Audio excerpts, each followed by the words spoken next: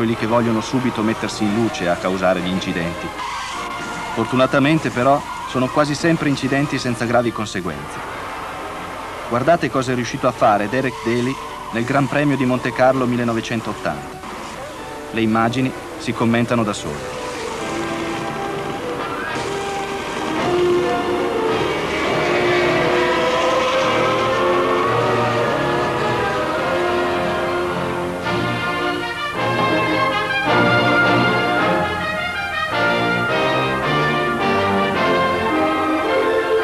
Thank you.